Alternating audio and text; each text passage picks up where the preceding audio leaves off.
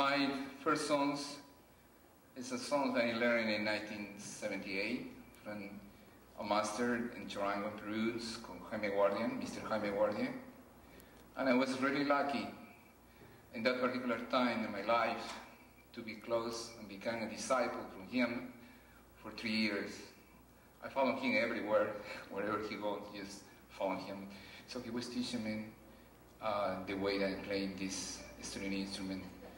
These small string instruments come uh, from Spain 400 years ago, from Spain, and in Spain they call guitarrillo.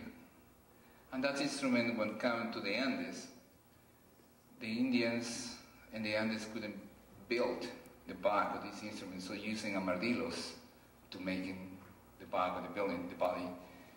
With the time, we added a couple of strings more, and in the last 50 years, the instrument doesn't change anymore. So it's 10 string instruments. I want to play one of the songs that is called Elmer, and the way that he taught me.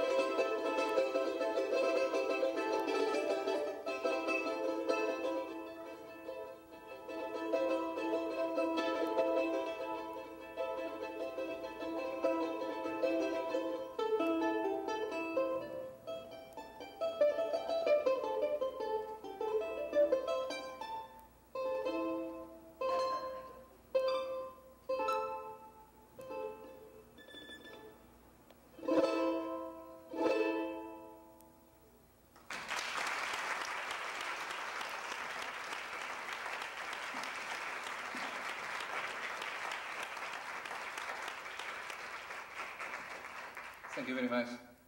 And I want to introduce you um, Dr. Jose Bernardo. and he's a doctor come from the Andes Mountains, and uh, we were lucky to have him in Pittsburgh. And we are going to play a song from Ayacucho, but the area is Jaime Guardia, the master in Charango, Peru. We are going to play one song called Negra del.